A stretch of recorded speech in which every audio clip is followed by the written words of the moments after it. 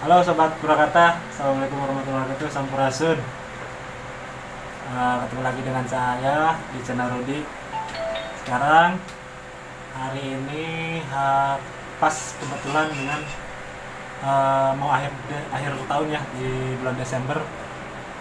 Pasnya tanggal 26 Desember 2019 Ada salah satu yang bikin fenomena pada akhir tahun ini yaitu ada gerhana matahari. Sekarang lagi berlangsung.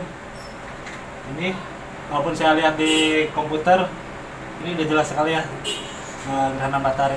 Konon katanya yang ibu hamil nih jangan keluar nih. Kenapa coba? Takut nanti anaknya ada tanda merah. Nih kalau misalkan ibu-ibu lihat bulan eh, gerhana matahari jadi maksudnya nanti ada tanda merah di badannya. Itu sih kata orang tua dulu.